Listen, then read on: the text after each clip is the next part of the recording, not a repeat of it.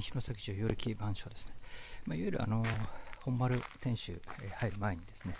え入り口に、まあ、いわゆる監視場みたいな感じですけど、まあ、中はですね全部入れないんですけどこ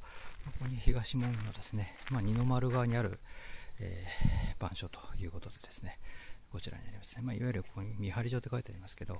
まあ、反省時代にその入り口でですね、えー、入ってくる人たちに対して、ま、受付をしていたとまた監視していたという場所になりますよね、まあ、ここはだいたいそうですね。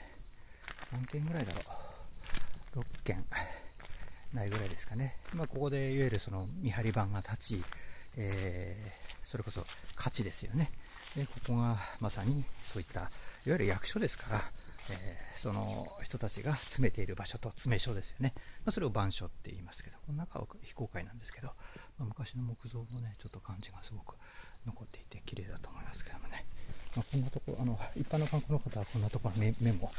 触れるというところですよこう障子なんかもねそのままになってますしね、まあ、ぜひあの史跡が多い弘前城ですから、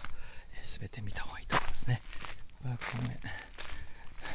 まあ、公園の詰め所にもなっていたということになりますよね。二の丸ここからあの、えー、まあ天守はちょっと見えないですけど、えー、天使を望む場所にあるという場所でもありましたので、まあ、貴重な場所だという形になりますね。はい、二の丸東門えー、よりき番所でした。